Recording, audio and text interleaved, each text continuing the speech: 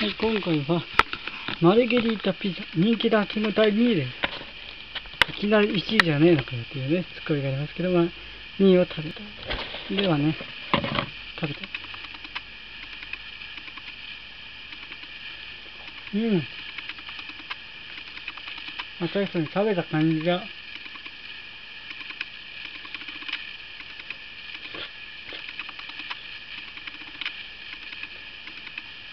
マルゲリーですね。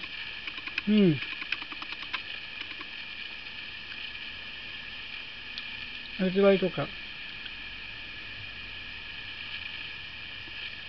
この、ふんわりとした食感に、美味しさがマルゲリータで、うん。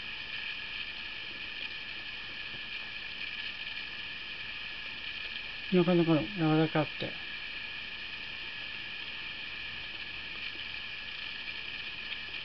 ふんわりとした。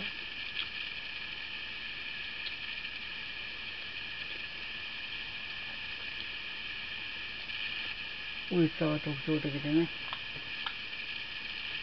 うん。なかなか良い。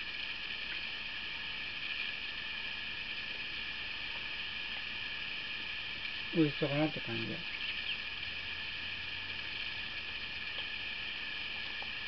結構にふんわりとマルゲリータ。